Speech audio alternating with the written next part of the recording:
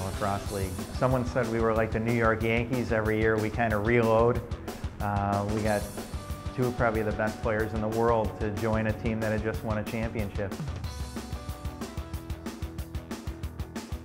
My name is Emily Forrester. I'm a junior. I'm an organizational communication major and I am working with the Rochester Knighthawks this year. Emily's pretty much done everything we've, uh, we've asked her to and more.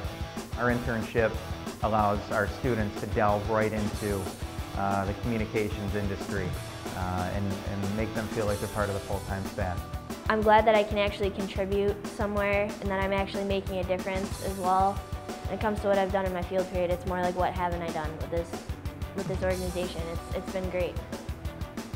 Internships are probably the most valuable experience you can have uh, because it can let you know what you like and dislike before you take that first job.